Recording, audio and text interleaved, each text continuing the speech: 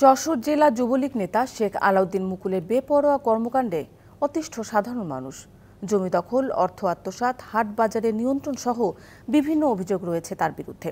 থানায় জানিয়েও সুরাহা মিলছে না। যদিও মুকুলের দাবি, সব অভিযোগই বানোয়াট। যশোর জেলা যুবলীগের শিক্ষা ও পাঠচক্র সম্পাদক শেখ আলাউদ্দিন মুকুল। অভিযোগ আছে, তিনি একজন জনপ্রতিনিধির কাছের লোক। ক্ষমতার দাপট দেখিয়ে করছেন একের পর এক অনিয়ম। বাইনার নামে সদর উপজেলার রামনগর ইউনিয়নে তিন বছর ধরে জমি দখল করে রাখার অভিযোগ মুকুলের বিরুদ্ধে। পাঁচ শতক জমি বায়নাপত্র করা হয়েছে।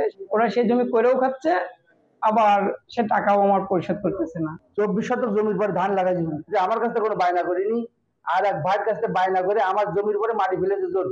তার বিরুদ্ধে কোতোয়ালি থানায় লিখিত অভিযোগ দিয়েছেন তানিয়া খাতুন মুন্না নামে এক নারী। তিনি বলছেন তার স্বামীর কাছ থেকে সাড়ে এগারো লাখ টাকা আত্মসাতের পাশাপাশি সই নেওয়া হয়েছে সাদা কাগজে।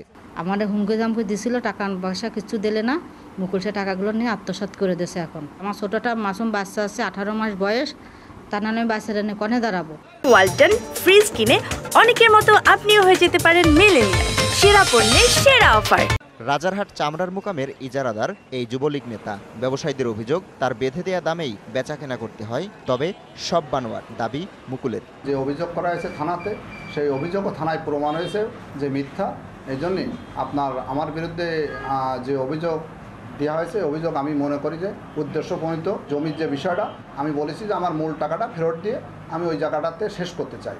পুলিশ বলছে তার বিরুদ্ধে আসা অভিযোগের তদন্ত চলছে। টাকার অভিযোগটাই আসছে। সংশ্লিষ্ট বিটের একজন অফিসারকে দিয়েছি এটা। তদন্ত করে দেখছে আসলে তার অভিযোগ কতটুকু সত্য। যদি সত্য হয় আমরা আইনগত যে ব্যবস্থা সেটা নেব এটা তদন্ত চলছে। রাজনৈতিকভাবে প্রভাবিত না হয়ে সুষ্ঠু তদন্তের দাবি ভুক্তভোগীদের। DBC news desk.